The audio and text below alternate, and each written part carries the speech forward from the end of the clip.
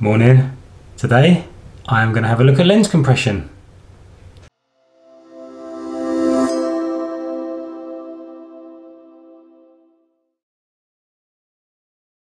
So good morning and welcome to today's video. Richard here and it's good to have you back again. Today I'm going to have a quick look at lens compression which um, shows the difference on your subject in the background depending on what focal length you're at. So we're going to take some pictures at 24mm all the way out to 400 mil. um, and I'm going to go through a few pictures and show you how much of a difference the situation of the backdrop looks compared to where your subject is. So I'm going to keep the subject in the same place and I'm going to go through the range of all those focal lengths and we'll see the um, how the background changes, what impact it can have on your photos when you're out in the field and you're thinking of, of what sort of photos you want to capture and what sort of effect you want to you want to give your photos. So I've always sort of known about what lens compression was, but never really um,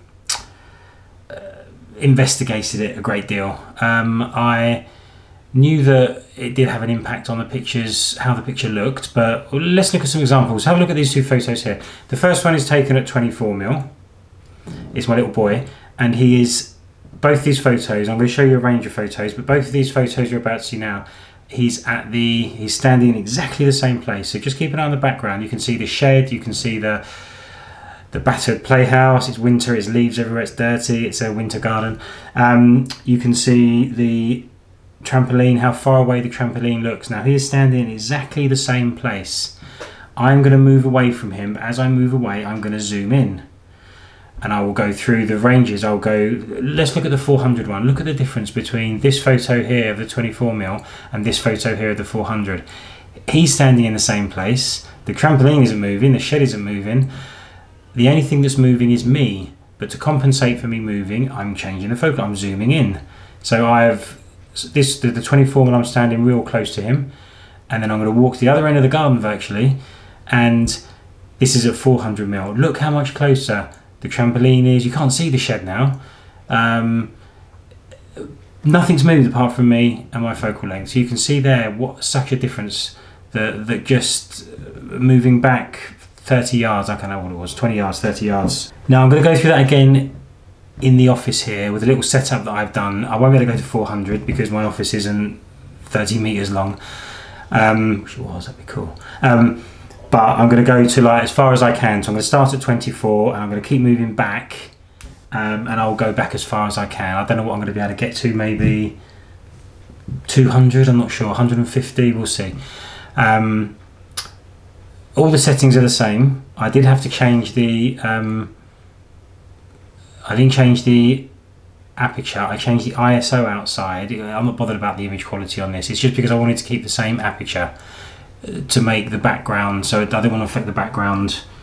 I wanted the 24 mil to be the same aperture as a 400 mil basically. So there was no manipulation of the background by doing a shallower depth of field or anything like that. Um, so we're going to have a look at that in a second here in the office. Uh, so I did obviously have to change lenses. The first photo was a 24 mil. that was on my 24 to 70, and I used that for the, I think I took three photos, 24, 35, 50 and maybe 70, so maybe four photos. Then I went to my 100 to 400 and jumped up to 100 mil and went 100, 135, 2, 3 and 400 I think, I can't remember, something like that. The numbers I put on on the bottom of the pictures. Um, Now, I, I, think there is some kind of mathematical formula to this, and it, it, relates on how how close you are to your subject, and then how close the background is, and and things like that. Um, so the I don't I, I'm not interested in mathematical. I just want to understand that when I do this, this will happen. Google mathematical formulas for lens compression if you want to.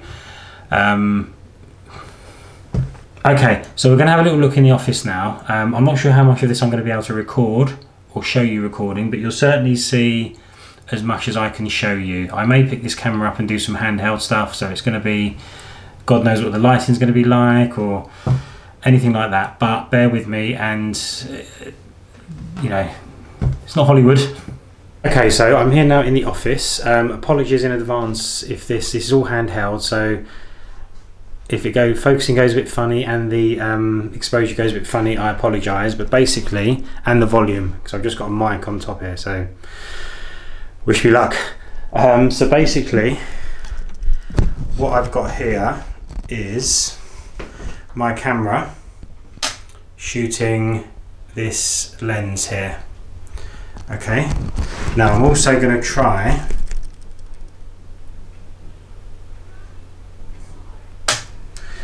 and record. So this is what my camera is seeing.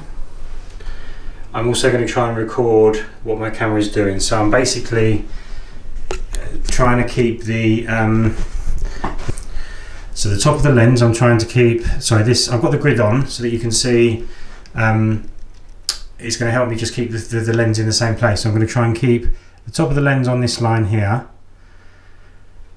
all the time so that's going to be the um, that's going to be the uh, the consistent thing. So we are here now. We are going to take a photo, and that is at. Not sure if you can see that or not, but that's at 24 mil. So I'm gonna. This is to be really, really hard to do which is the fun of, of videoing on my own. But I'm basically to change now the focal length to, let's go to 35. And I'm just to have to put the camera down while I move this back. So again, I'm keeping the Keeping the top of the lens here look, on this white line, on this black grid line.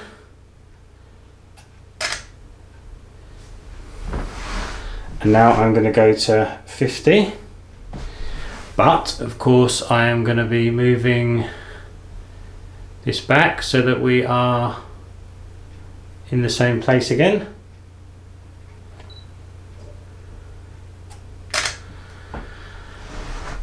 And I'm going to keep doing this. I'm going to go to 70 now. And I'm going to move it back. And you will see I'll try and show you actually. I've really got no idea if this is kind of what I'm saying is coming out but let's focus again. And let's probably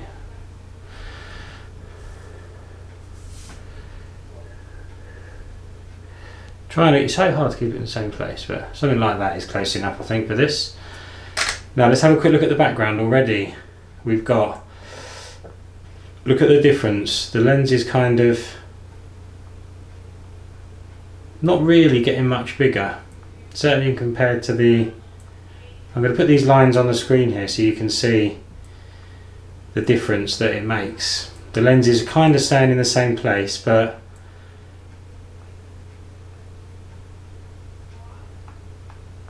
might be moving slightly. Let's carry on. So the screen will probably go off now. Just I'm going to quickly change lenses, so I will be right back. Okay, so it's almost there. But as you can see, so we're now on the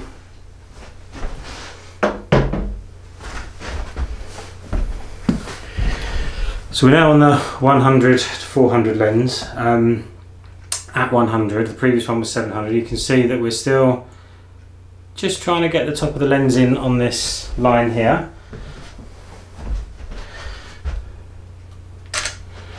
And we're going to keep going back, so I'm going to change it now to, let's just go up in hundreds now.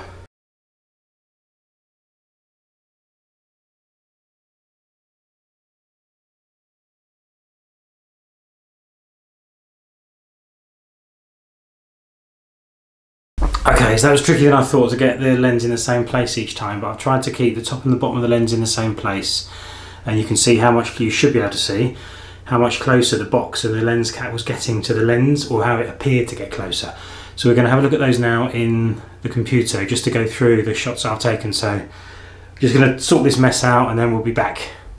Okay, so that was um, that was pretty straightforward. I, like I said, I took the picture, you saw, I took the photo, moved the tripod back, took another photo after I zoomed in, moved it back. I got things got in the way and it wasn't as smooth as I wanted, but um, I've done it.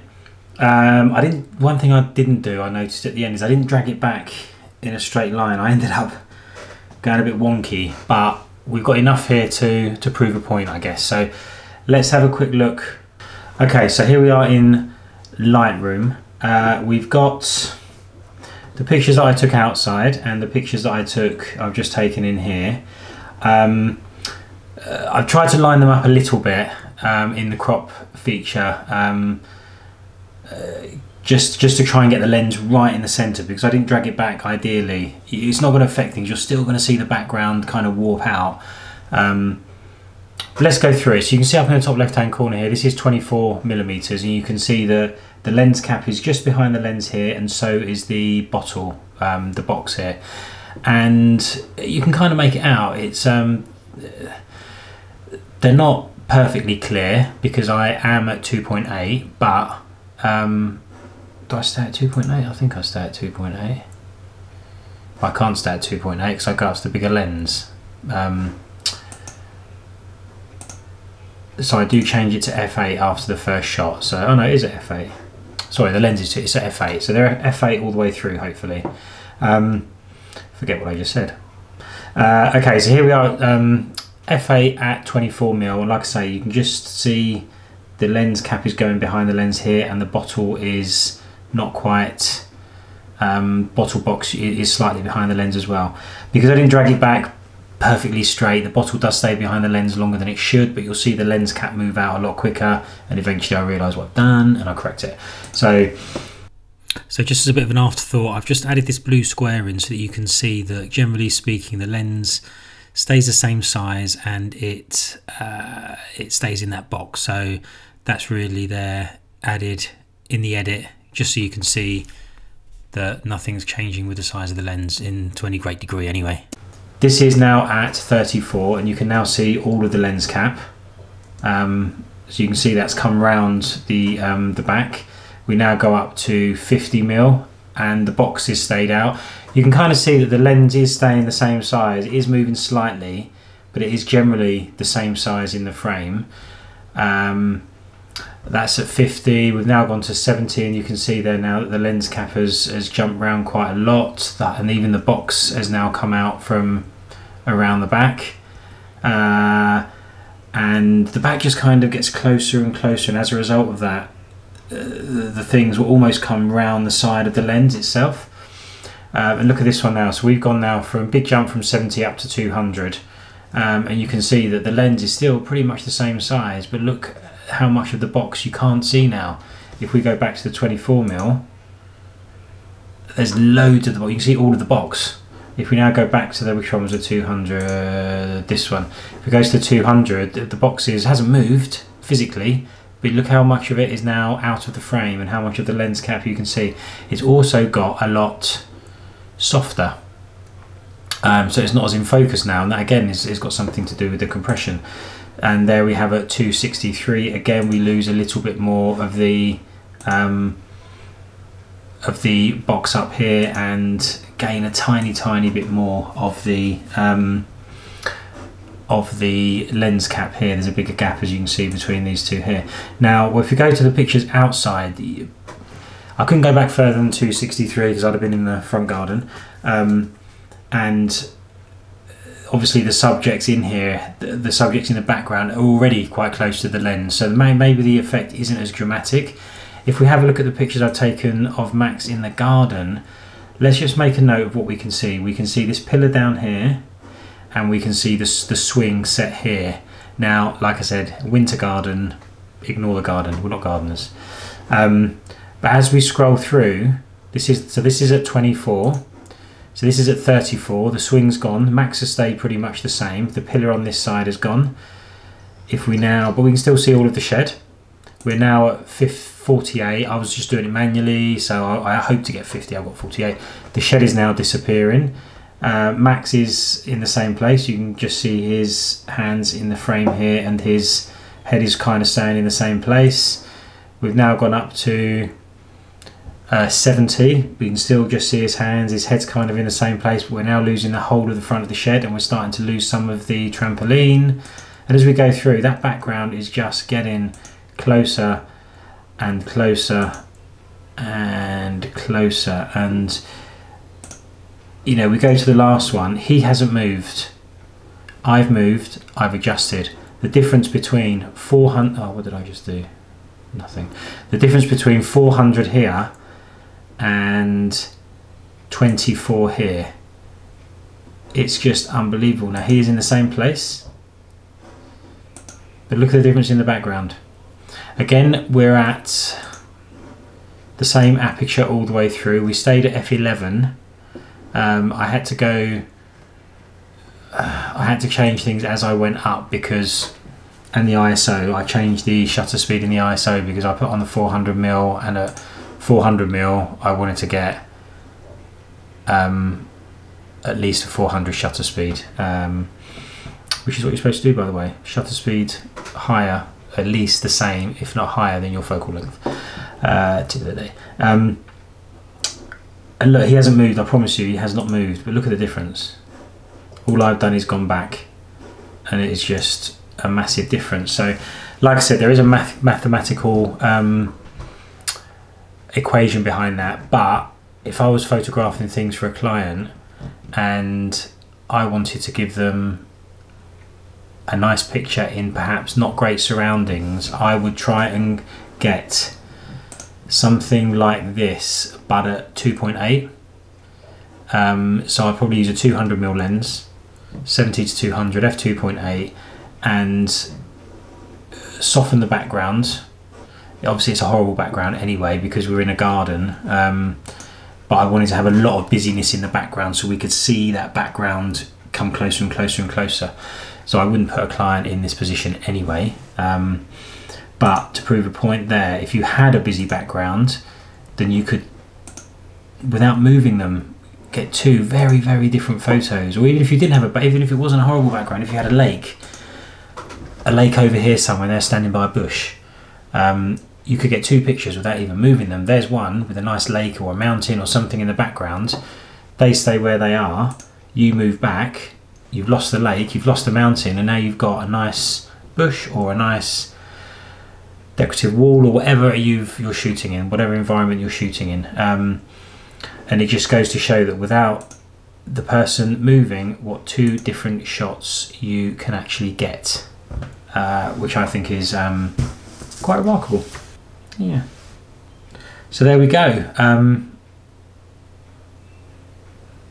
I'm going to put the um, lens one up in a little bit more detail at the end so you can see it scroll through.